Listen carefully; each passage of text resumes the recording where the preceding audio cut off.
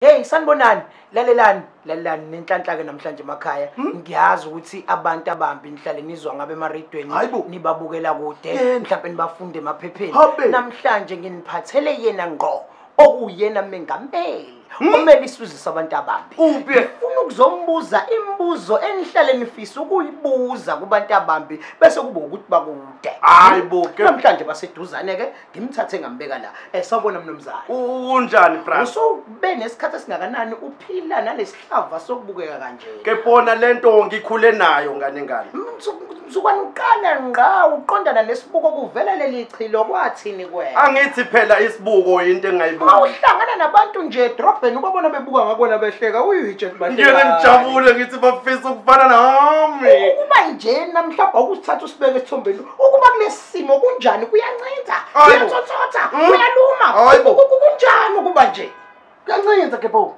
mantombazane nciphisani lolu hlobo bye